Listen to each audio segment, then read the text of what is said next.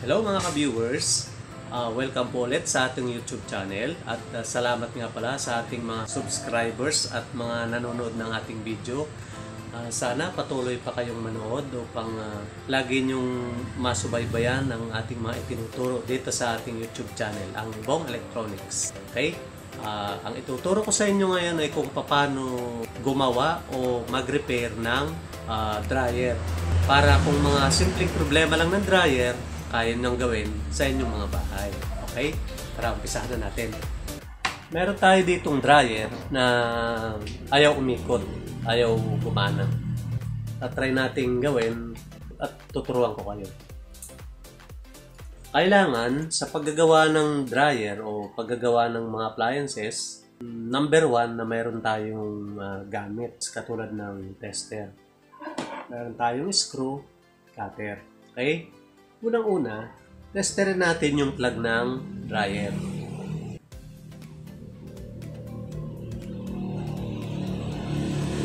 Kailangan yung tester natin, nakaset siya sa X1. Yan. Tapos, i-on natin yung timer ng kanyang dryer. Yan, meron siya. Ibig sabihin, pag pinatay, yan, on uli, yan, meron. Ibig sabihin mga ka-viewers, simula dito sa plug hanggang dun sa motor, meron siyang connection. Pwede natin siyang isaksak para malaman natin kung ano ang problema ng kanyang motor. Yun mga ka-viewers, ayaw niyang umikot pero umuugong siya. Yan. Ang problema ng ah, dryer natin ay ayaw umikot. Pero um, nag-re-react yung kanyang motor. Buksan natin yung kanyang ah, likod. Punutin muna natin yung kanyang plug para hindi tayo makuryente. Tapos buksan natin yung kanyang wirings.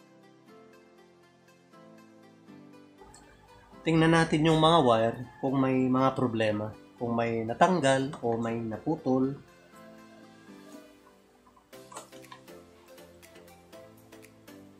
okay naman siya. Tingnan natin yung kanyang capacitor. Try din nating ikutin yung kanyang motor sa ilalim kung gumagalaw. Kung gumagalaw siya, hanapin natin sa mga wirings.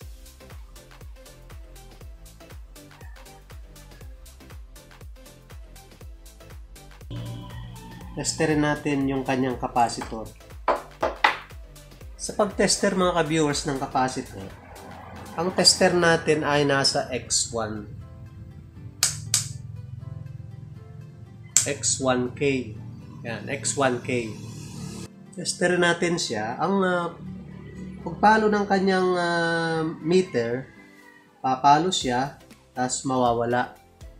Pabaligtarin nyo yung, yung ah, inyong prod, papalo ulit siya, tapos mawawala.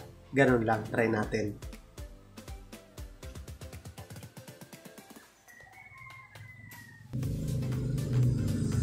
Yun, pumalo, tapos nawala.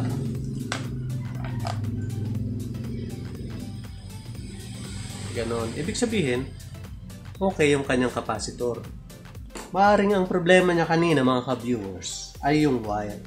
Try nating ibalik ulit yung kanyang kapasitor, tapos testingin natin. Kasi yung isang wire niya kanina, pumalas na, siguro sa katagalan ng ah, gagamit, pumalas na ito sa pagkakadugtong. Ngayon, testingin ulit natin. I-plug ulit natin siya sa outlet. Tapos, paandarin natin yung kanyang yun. Umandar na mga ka-viewers.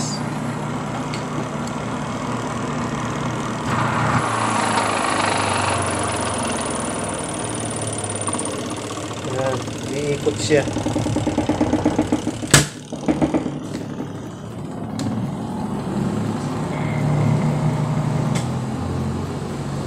Naging problema niya mga ka-viewers sa yung kanyang wire. Maaari sa katagalan na ng kanyang na pagkakakonek, sa katagalan na rin ng paggamit, maaaring nagka-problema ito. Kaya nung ibinalik natin, ikinunik natin ng maayos, gumana na siya. Yun lang mga ka-viewers. Ah, ngayon, kung, ah, kung mayroon pang ibang problema ang dryer, sa pamamagitan ng tester, malalaman nyo. Maaring sira sa timer, sira sa switch, open yung kanyang fuse, ganun, o kaya sira ang plug, o kaya motor na rin, may problema. Kaya dapat, kapag gagawa tayo ng kahit na anong uh, appliances, may tester tayo para mabilis nating malaman o matukoy kung anong problema ng ating mga ginagawa. Ganun lang. At tandaan nyo mga ka-viewers, habang uh, nagagawa tayo, tandaan lang natin yung ating mga ginagawa at huwag nating kalilimutan na i-unplug yung mga ginagawa natin o tanggalin natin sa pagkakasaksak sa kuryente para hindi tayo mag-ground o makuryente. Lagi tayong mag-iingat sa ating mga ginagawa. Okay? Bye-bye! Salamat!